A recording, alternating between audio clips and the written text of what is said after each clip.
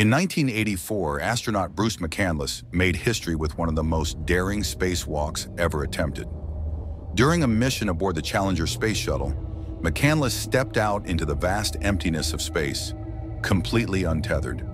Equipped with a manned maneuvering unit, a jetpack designed to let astronauts move freely without a tether, McCandless floated 320 feet, or about 100 meters, away from the shuttle, becoming the first person to fly untethered in space.